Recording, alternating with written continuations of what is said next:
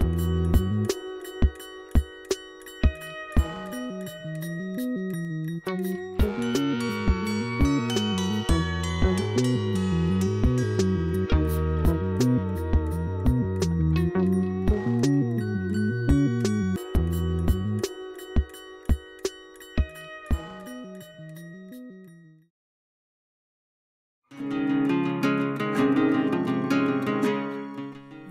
introduction of Kienyeji chicken farming in Kenya by the Kenya Agricultural Research Institute within the year 2011 has given an auxiliary face to poultry farming in Kenya. Kienyeji chicken farming has been quite a widespread type of poultry farming that is mainly found over the rural and semi-rural areas. However, it has found its way among some urban areas and being absorbed fully as a part of mainstream source of income in urban centers. Kienyeji poultry hatcheries and chicken traders have taken up the initiative of creating urban demonstration farms to train farmers and a one-stop shop to buy day-old and mature Kienyeji birds for rearing. One upcoming one-stop Kienyeji shop in the busy city of Nairobi is Kienyeji Kenya Limited in Jiru area.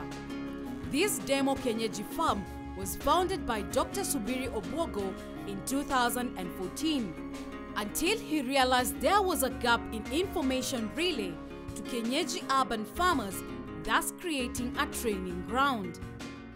Uh, we are basically a one-stop poultry social enterprise. Uh, we basically deal with the training farmers. We also make feeds. We also sell chicks. We basically also sell things like breeding equipment. Uh, our vision is basically to transform the poultry sector in the country. We started five years ago, but mainly as a hobby.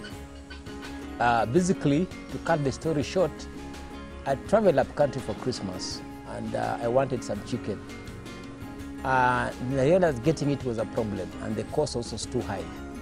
So after that I decided why don't I just uh, start keeping mine at home.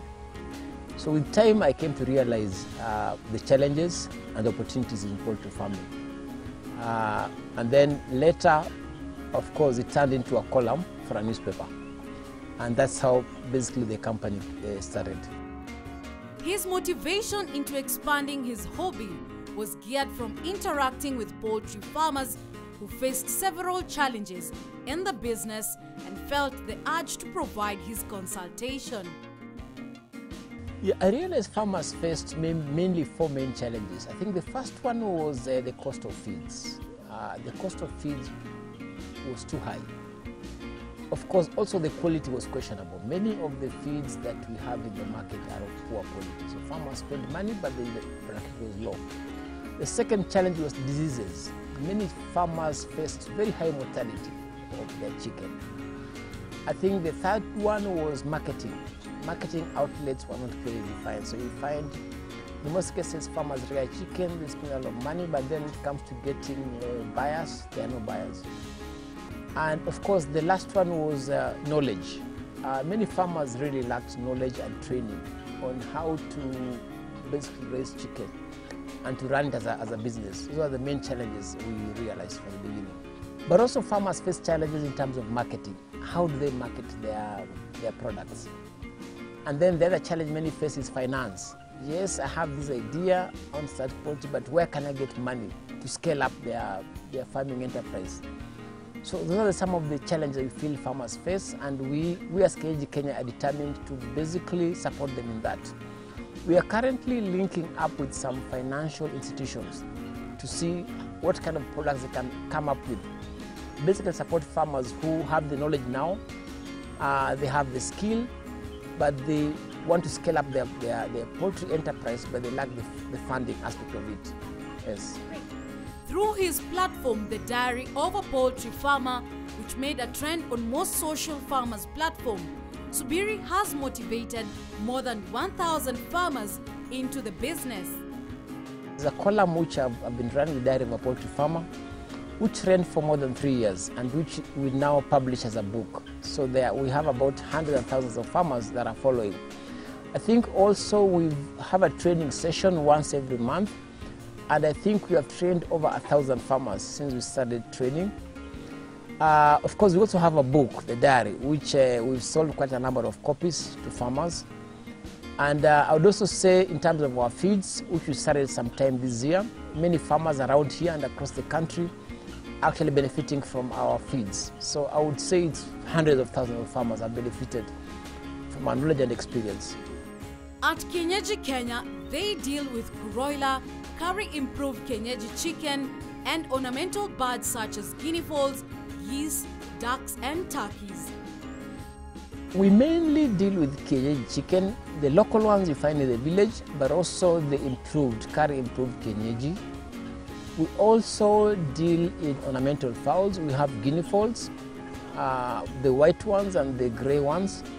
We also have turkeys. We also have geese, and we also have uh, uh, ducks. So we keep all types of uh, poultry in our farm. On his guinea fowl area, Subiri advises on how a farmer should keep the birds in order to get quality eggs from the birds. Yeah, these are guinea fowls. There are various types uh, of breeds. Uh, guinea fowls are classified as wild birds, meaning you require a license from Kenya Wildlife to basically rear, rear, rear them. Here we have two types, the, this grey polka one and also the white ones that you see inside there. Basically, they are very resistant to diseases, not very fastidious, but here we feed them just like the way we feed chicken. Of course, they require adequate amount of water and feeds, but rarely will they get sick. Uh, once we, have, get the eggs, we normally put them in incubator and then we hatch uh, the, the chicks. Uh, one of the facts people don't understand about guinea fowls, they actually originated in Africa, unlike let's say turkeys that came from the Americas. So guinea fowls actually originated in Africa and they were exported to Europe by the explorers. The housing is not as fastidious as for chicken. You see, like here, being wild birds, as long as you can cover the, the top, the place where they can sleep, they're basically very comfortable.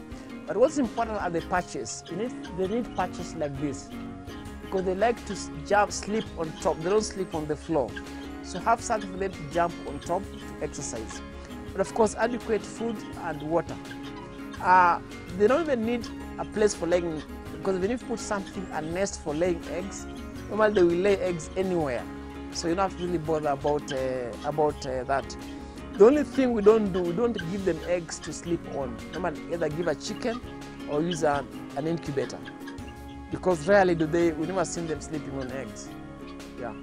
Aside from training on Kienyeji and ornamental bird farming on this demo farm, Subiri has a brooding area which he rears Kienyeji chicks to supply to breeder farms.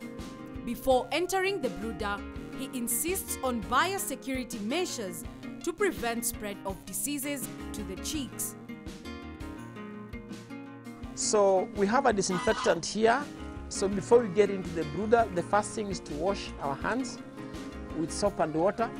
And I remember it mentioned most of the infections can be spread because of touch the things we've been touching.